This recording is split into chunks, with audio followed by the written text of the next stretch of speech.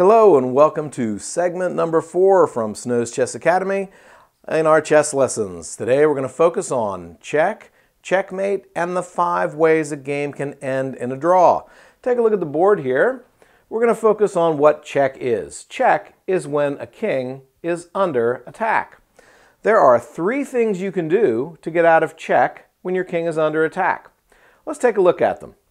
Uh, the first thing you can do when, for example, this queen has checked the king here on the diagonal, you can attempt to run the king away. Uh, this is the most common uh, answer to check among beginners, but not necessarily always the best. There are other options. Let's say, for example, we had a position like, like this, in which the queen moved to c3 with check. Well, now it certainly would not make any sense to run the king away. No, no, it would make perfect sense to capture the queen with either the rook or the king.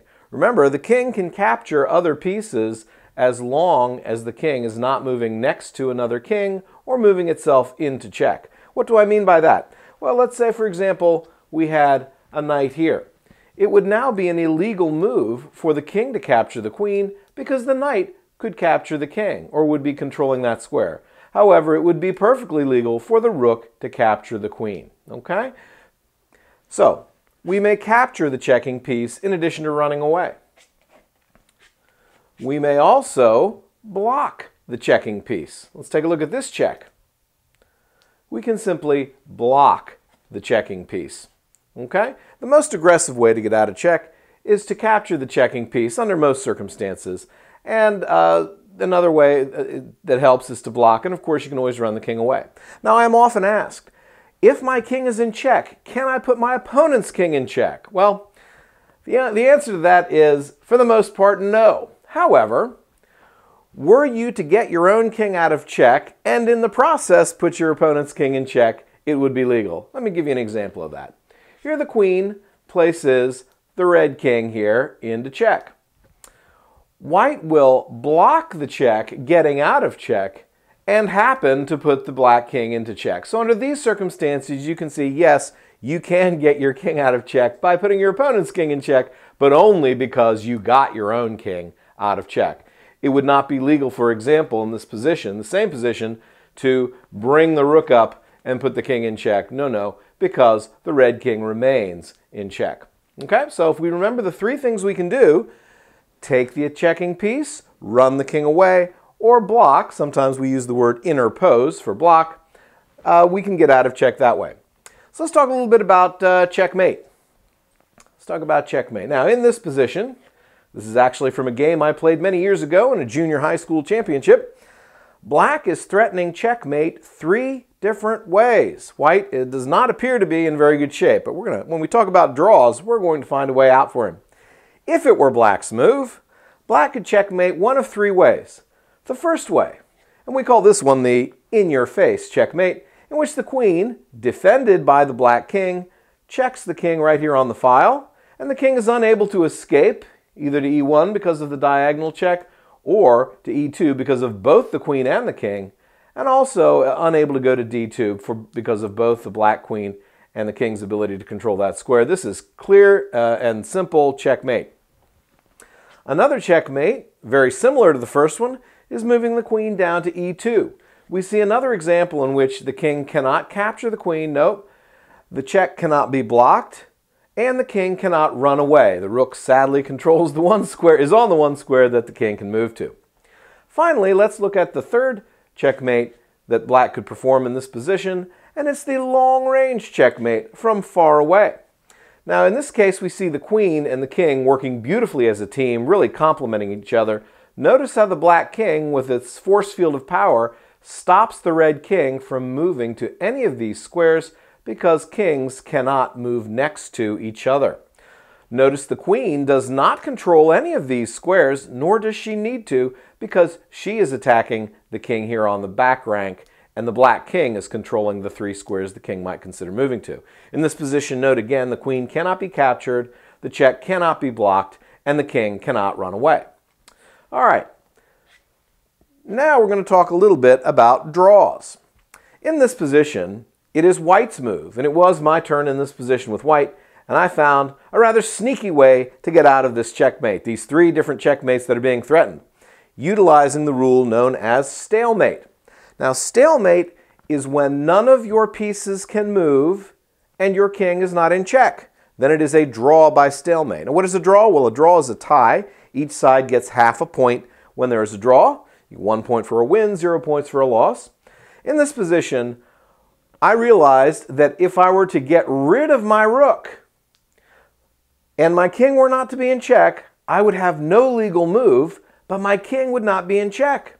It would be a draw.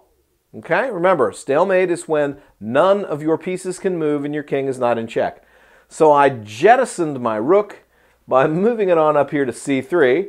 My opponent, of course, was not very happy in this position when I offered my opponent a draw. This is another way a game can end in a draw. Stalemate, offering your opponent a draw.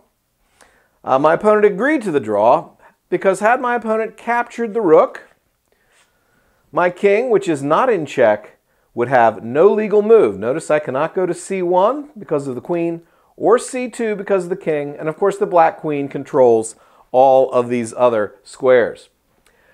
Now, um, another thing to take into account is the draw that can arise by ha having not enough pieces to provide checkmate. Let's take a look at that scenario, which was another potential issue here.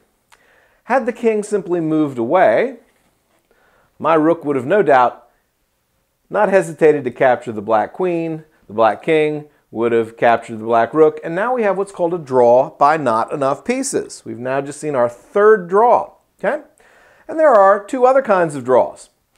One is called the threefold repetition. This will often happen in a game involving beginners where one simply does not know how to land a checkmate and black, for example, will check. And now we've seen this position for the first time. White will come forward. Black will check. Notice that both sides, not just one, are repeating their moves. Now we have just seen this position for the second time. White moves up to g2. The rook comes back to e2. White, of course, wants to have a draw because he can't possibly win with only a king left. And when black repeats this position, white can claim a draw by threefold repetition. And that is our fourth kind of draw.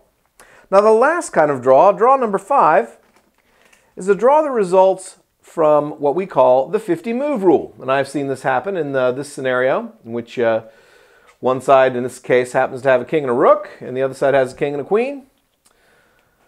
If both sides make 50 moves without a pawn being moved or a piece being captured, which is very unlikely in this scenario uh, intentionally, the game ends in a draw. Notice there are no pawns on the board to be moved, and there are, uh, there are uh, white would not want to capture the rook, or it would be a draw by not enough pieces.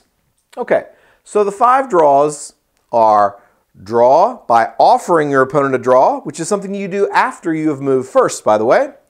Draw by the 50 move rule, that's 50 moves by both sides without a pawn move or a piece being captured. Draw by not enough pieces to checkmate.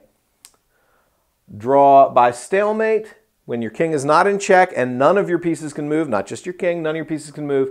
And draw by repeating the same position three times, known as a threefold rep repetition. And as a quick review, we'll just remember there are three ways to get out of check. Blocking the check, capturing the checking piece, and running the king to a safe square. Just because it is you can make a check does not mean you should make one. All right, this concludes our lesson here on check, checkmate, and the five different kinds of draws. Thanks so much for watching.